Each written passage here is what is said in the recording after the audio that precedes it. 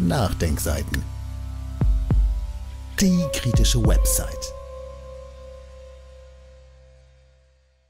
Brandrede. Die Mainstream-Presse liegt im Sterben. Niemand wird ihnen jemals wieder zuhören. Ein Kommentar von Tobias Riegel. Prominente US-Journalisten wurden vor einigen Tagen bei einer Podiumsdiskussion von einem Aktivisten in einem leidenschaftlichen und polemischen Redebeitrag scharf kritisiert, bis der Kritiker Rüde überwältigt und zum Schweigen gebracht wurde. Die Szene sagt einiges über die Angepasstheit von Medienlandschaften und ihr fragwürdiges Verhältnis zu ihren Kritikern aus. Der Befund lässt sich auch auf viele deutsche Medien übertragen. Manchmal müssen bekannte Fakten noch einmal in leidenschaftlicher Form ausgesprochen werden, um neue Wirkung zu erzielen. So einen Moment gab es vor einigen Tagen an der New Yorker Columbia Journalism School in den USA. Ein Podium mit führenden Journalisten der US-Medien New York Times, MSNBC, Reuters und Washington Post waren vom Aktivisten Journalisten José Vega in einer regelrechten Brandrede kritisiert worden, etwa wegen ihrer Rolle bei den Nord Stream-Anschlägen.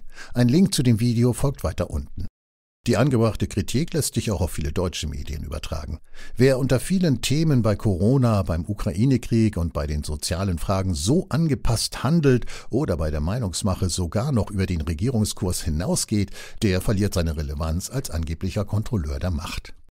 José Vega beschreibt sich laut US-Medien als libertärer Aktivist, die New York Times oder Politico beschreiben ihn laut Medienberichten als Verschwörungstheoretiker. Der genaue politische Hintergrund von Vega ist mir nicht bekannt, aber sein jüngster Auftritt kann unabhängig von anderen möglicherweise problematischen Äußerungen als inhaltlich treffend und im Vortrag leidenschaftlich gewürdigt werden, auch wenn er mir formal teilweise zu polemisch ist.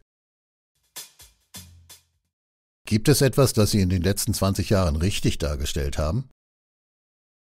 Die Nichtreaktionen vom Podium auf die Kritik und die rüde Art, wie Vega schließlich von Sicherheitsleuten niedergerungen und zum Schweigen gebracht wird, diese Szenen finde ich sehr entlarvend und sie sind bedenkliche Zeiten der Zeit. Vega sagt unter anderem, da dies eine Veranstaltung zu Politik und Presse ist, sollten wir nicht über Nord Stream sprechen, schließlich ist es die größte Geschichte des Jahrhunderts.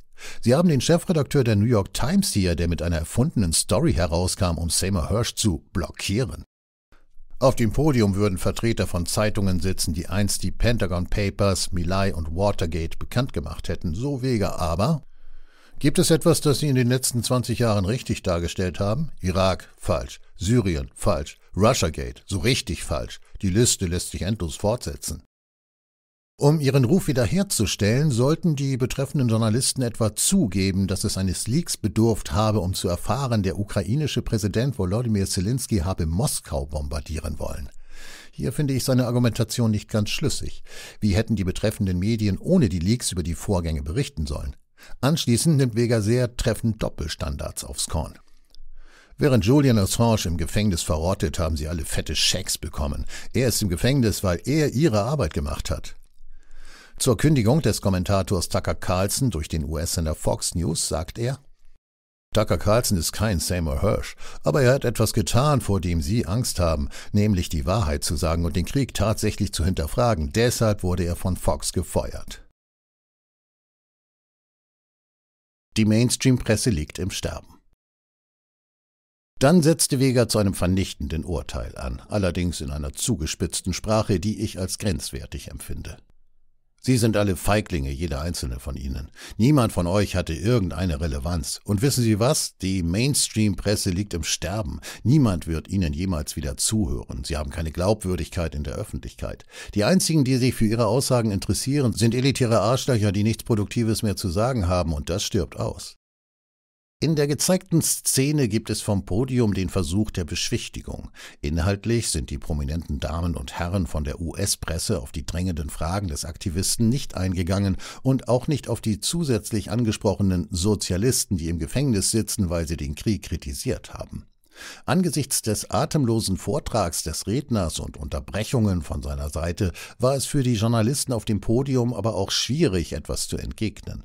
Die überwiegend sture Sprachlosigkeit des Podiums spricht andererseits für sich. Das Problem wurde schließlich gelöst. Weger wurde rüde überwältigt und zum Schweigen gebracht. Ende der Debatte. Hier folgen Links zu Videos von der Szene und zu einem Tweet von Vega. Einschränkungen.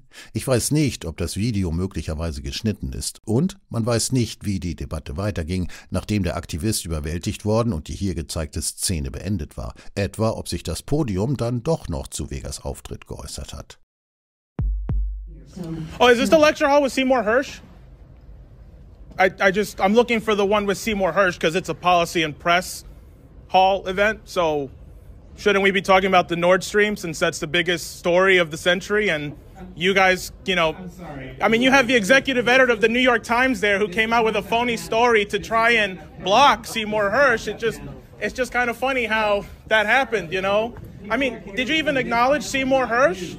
All of you are executive editors of papers that broke Pentagon, Me Lie, Watergate. Is this the same papers or not? I mean, is there anything you've gotten right in the last 20 years, or am I mistaken about that? I mean, it's just kind of funny because Iraq, wrong. Syria, wrong. Russiagate, really wrong. Okay, I mean, the list goes on and on.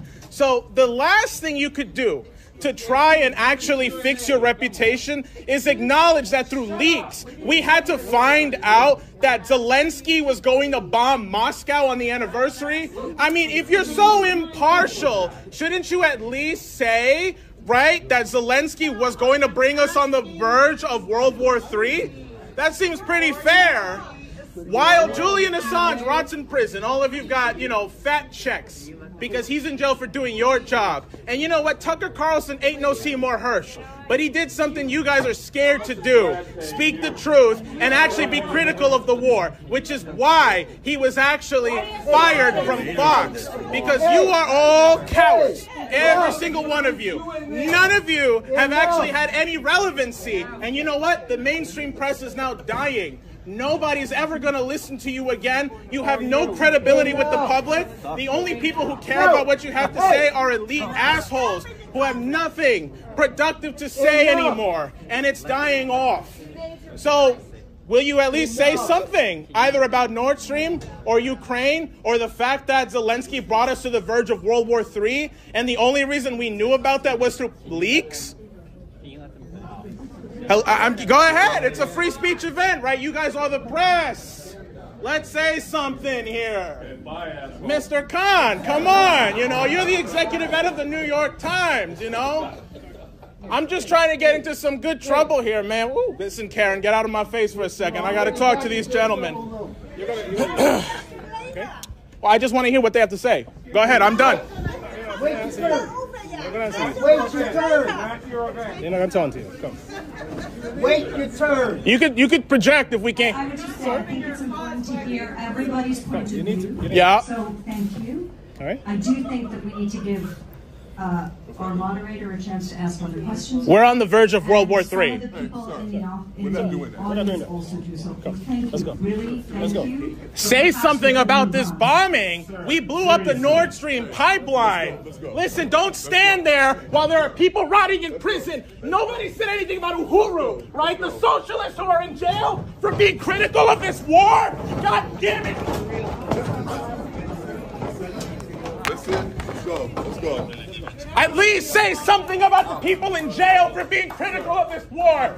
They don't deserve to be in prison right now.